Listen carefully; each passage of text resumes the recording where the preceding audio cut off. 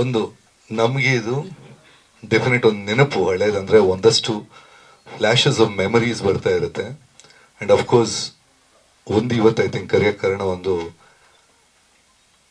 ಯೂಟ್ಯೂಬಲ್ಲಿ ನೆಟ್ಫ್ಲಿಕ್ಸಲ್ಲಿ ಅಮೆಝಾನಲ್ಲಿ ಸಿಗೋ ಚಿತ್ರ ಮತ್ತೆ ರಿಲೀಸ್ ಆದಾಗ ಮತ್ತೆ ಥಿಯೇಟ್ರಲ್ಲಿ ಒಂದು ಧೂಮ್ ಅಂತ ಇದೆಯಲ್ಲ ಅದು ನಮ್ಮ ಫ್ಯಾನ್ ಫಾಲೋವಿಂಗ್ ಆಗಲಿ ಅದರ, ಅದನ್ನು ಎಂಜಾಯ್ ಮಾಡೋ ಸ್ಟೈಲು ಪಬ್ಲಿಕ್ಕಲ್ಲಿ ಥಿಯೇಟ್ರಲ್ಲಿ ಥಿಯೇಟ್ರಲ್ಲಿ ರಿಲೀಸ್ ಅಂತ ಮಾಡಿದಾಗ ಹೊಸ ಚಿತ್ರ ರಿಲೀಸ್ ಆದಂಗೆ ರೆಸ್ಪಾನ್ಸ್ ಸಿಕ್ತು. ಐ ಥಿಂಕ್ ಅದು ತುಂಬ ಅಪರೂಪ. ಆ್ಯಂಡ್ ಇದು ನಮಗೆಲ್ಲ ಹೇಳ್ಬೇಕಂದ್ರೆ ನಮಗೆ, ನನಗೆ ಒಂದು ಅಡಿಪಾಯ ಕೊಟ್ಟ ಚಿತ್ರ. ಏನನ್ನ ಜೀವನ್ ಜೀವನದ ಮೊಟ್ಟ ಮೊದಲ ಸಂಗೀತ ನಿರ್ದೇಶನ ಚಿತ್ರ. ಸೊ ಹೆಸರು ಎ, ನನ್ನ ಲೈಫಲ್ಲಿ ಅದು ಮೊದಲ ಅಕ್ಷರನೇ ಈ ಚಿತ್ರ. ಸೊ ಈ ಚಿತ್ರ ನನಗೆ ಲೈಫಲ್ಲಿ ನಮಗೆ ಅದು ಗುರಿ ಗಿರಿ ಏನಿರಲಿಲ್ಲ ಒಂದಷ್ಟು ಫ್ರೆಂಡ್ಸು ಫ್ರೆಂಡ್ಸ್ ಇದ್ದಿದ್ದು ನನಗೆ ಪ್ರೆಸ್ನವ್ರ ಟೈಮಲ್ಲಿ ನಾನು ಇದ್ದಿದ್ದು ಪ್ರೆಸ್ನವ್ರ ಜೊತೆ. ಐ ಥಿಂಕ್ ತು ಕೆಲವರಿಗೆ ಗೊತ್ತು. ಏ ಟೈಮಲ್ಲಿ ಇಷ್ಟು ಜನ ಇದ್ರು ಅಂತ ವಾಸವ್ರಿಗೆ ಗೊತ್ತು ನನಗೆ. ಬೇರೆ ಯಾರಿದ್ರು? ಒಬ್ಬರೇ ಅಲ್ಲ?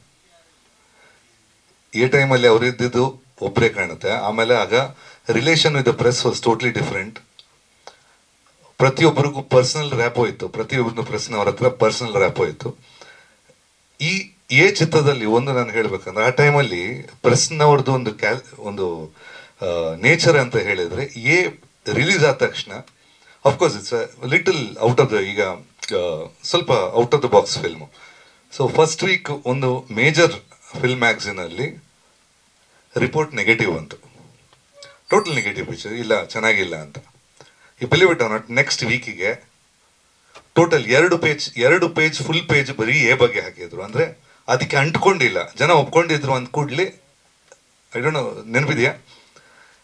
ವೆರಿ ನೆಕ್ಸ್ಟ್ ವೀಕ್ ಟೋಟಲ್ ಎರಡು ಫುಲ್ ಪೇಜ್ ಕವರ್ ಕವರೇ ಕವರೇಜ್ ಕೊಟ್ಟಿದ್ರು. The previous that was the attitude of the press okay ಇಲ್ಲ, ಚೆನ್ನಾಗಿಲ್ಲ ಅಂದರೆ it is serious report that was ಮಂದ ಇನ್ನೊಂದು this was a very different ಆ ಟೈಮಿಗೆ ಇದು ಎಕ್ಸೆಪ್ಟ್ ಆಗದಿರೋಂಥ ಚಿತ್ರ.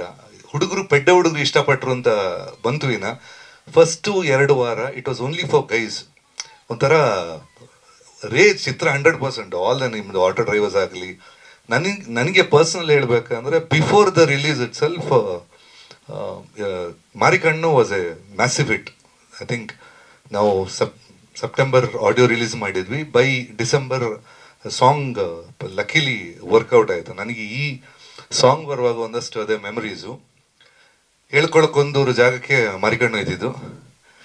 ನಾಳೆ ರೆಕಾರ್ಡಿಂಗ್ ಅನ್ನುವಾಗ ಮುಂಚಿನ ದಿವಸ ಹೇಳ್ಕೊಳಕ್ಕೊಂದೂರು ಲಿರಿಕ್ಸ್ ತಂದು ಕೊಟ್ಟರು ಕಂಪೋಸ್ ಮಾಡಬೇಕಂತ. ಅರ್ಧ next day recording so basically ನಾವು ಕಂಪೋಸ್ ಮಾಡಿ ನೆಕ್ಸ್ಟ್ ಡೇ ರೆಕಾರ್ಡಿಂಗ್ ಹೋಗ್ಬೇಕು. ಒಂದು it is already hit song ಮೈಸೂರನಾಥ ಸ್ವಾಮಿ ರಾಗದಲ್ಲಿ ಹಿಟ್ ಆಗಿತ್ತು. ಸೊ ಇದನ್ನ we had to recompose and ಈ ಸಾಂಗ್ ಪರ್ಟಿಕ್ಯುಲರ್ ಸಾಂಗ್ ಇವ್ರು ಹಾಕಿದಕ್ಕೆ ಹೇಳ್ತಾ ಇದ್ದೀನಿ. ದ ಬೆಸ್ಟ್ ನನಗೆ ರೆಸ್ಪಾನ್ಸ್ ಬಂದಿದ್ದು ಮೈಸೂರು ಮೈಸೂರಾನಂದ ಸ್ವಾಮಿ ಮಗ ರಾಜು ಆನಂದ ಸ್ವಾಮಿಯಿಂದ ಗುರು, ಈ ಹಾಡನ್ನು ಹಾಡು ಹಾಡೋದನ್ನ ಬಿಟ್ಟಿದ್ದೀನಿ ನಾನು. ಏನಕ್ಕೆ ಕೇಳಿದ್ರೆ, ಇಲ್ಲ ಟ್ಯೂನ್ ಹಂಗಲ್ಲ ಅಂತ ಅಲ್ಲಿ ಹಾಡುವಾಗ ಹೇಳ್ತಾ ಇದ್ರಂತೆ. ಸೊ ಒಂದು ಹಾಡನ್ನು ಮತ್ತೆ ರೀ ಕಂಪೋಸ್ ಮಾಡಿದಾಗ ಅದನ್ನ ಚೆನ್ನಾಗಿ ಅದಕ್ಕಿಂತ ಚೆನ್ನಾಗಿ ಮಾಡೋದು ರಿಯಲಿ ಆರ್ಟ್ ಅಂತ. That's best compliment first picture ಸಿಕ್ಕಿದ್ದು.